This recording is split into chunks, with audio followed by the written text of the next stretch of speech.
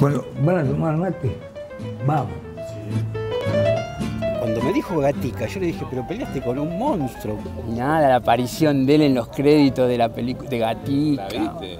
Claro. Y él aparece ahí.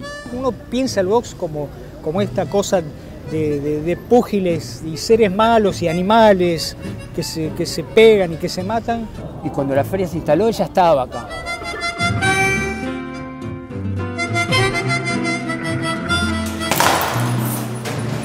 Él vendía los, los cafés, factura, todo, y con lo que él vendía acá educaba a los hijos. Es un, digamos, algo muy, muy pesado de llevar. Algunos dicen que es el crimen perfecto, matar a una persona y salir absuelto.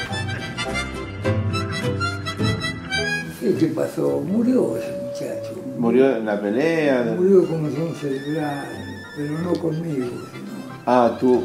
Papá, murió con vos.